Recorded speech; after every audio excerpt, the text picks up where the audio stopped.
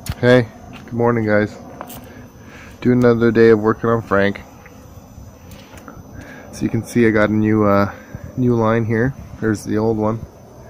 For the the clutch. Line blew the other day. So as you can see there's a master cylinder and the slaves down there. Just putting a new line in. Shouldn't be too hard. I got my tool here. Just gotta bend some of this. You can see I already started. So this is coming off the master. Gonna go down and I'm gonna put another bend right here going this way. So I don't know if you guys have ever used one of these, but we got the numbers on the side for the degrees.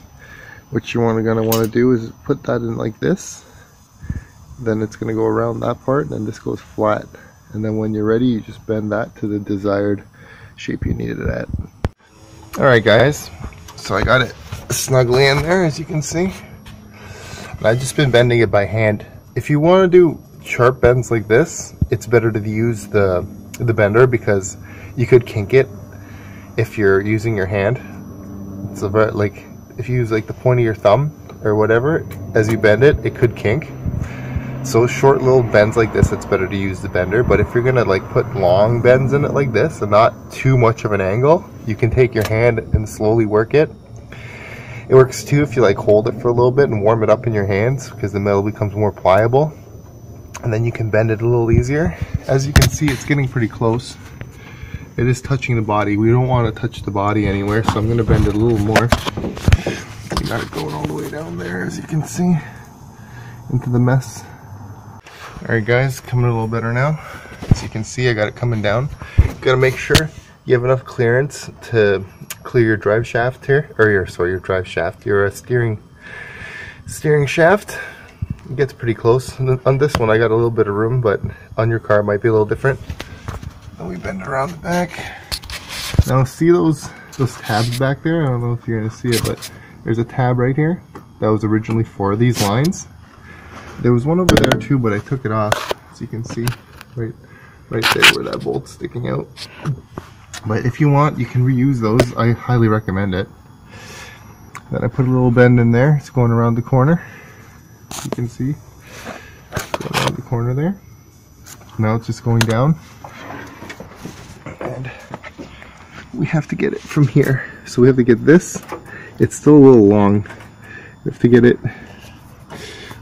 fuck, right into there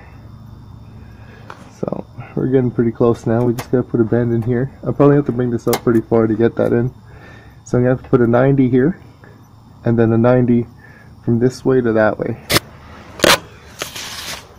Alright guys, so I gotta take it back out of the truck.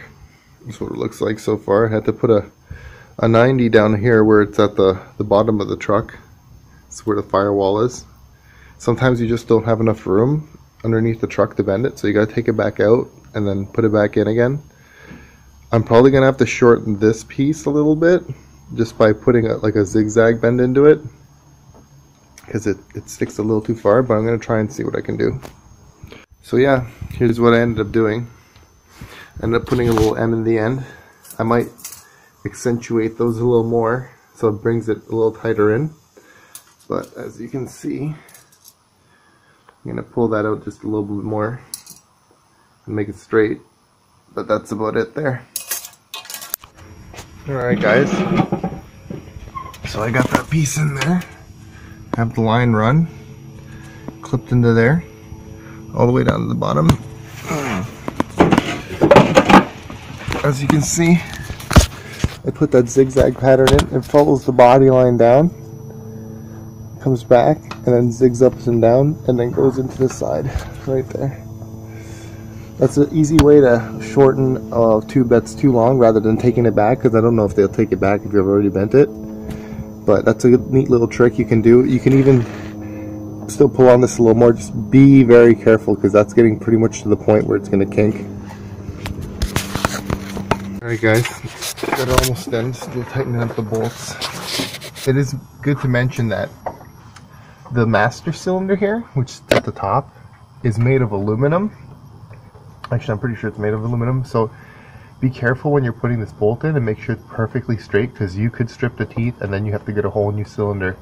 That's what happened with the last one I had. I didn't end up putting it in straight. I even re-threaded it with a bolt, but it still didn't help. You have to get a new one of these. They're not too expensive. I think I paid $60 for this.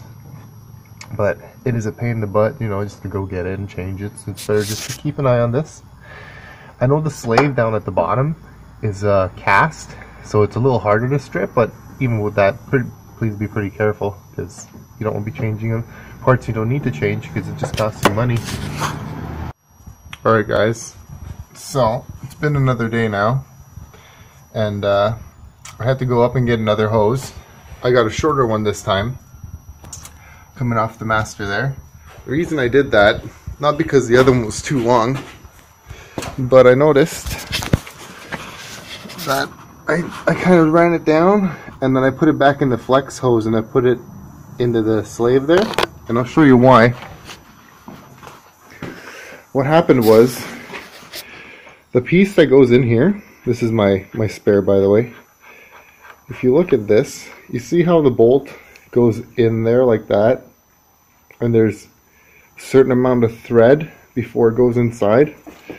This is a spare piece of brake line. I noticed that the end there, see how it's it's a lot shorter even though it's the same length on there, but the depth of this, if you put it in here, it'll bottom out before you can pressurize, and it started leaking right in the, the inside there. Now what you can do is you get a longer thread like this, which might work. I don't know because I didn't try it. But what I suggest doing is getting some flex hose like the, the seen on the truck already, which originally comes with it and doing it this way. This way it'll seal properly, and this is how it's supposed to be anyway. And then you got a little, you know, like a flex off the frame to the body kind of thing. And then, yeah, this works a lot better. It seems to be holding pressure. As you can see, it's a little shorter too, so this is the flex hose I'm talking about. The slave cylinder there. But yeah, that's how you uh, do your clutch line. Alright guys, so uh, thanks for watching another episode of Anton Builds. If you liked the video, please uh, give it a thumbs up, like, subscribe,